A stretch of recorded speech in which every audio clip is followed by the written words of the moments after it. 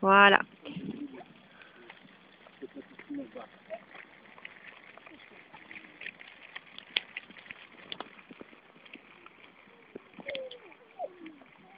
Voilà, dans cet exercice, on apprend au chien à marcher sur le trottoir et à y rester, même, même si le maître descend du trottoir.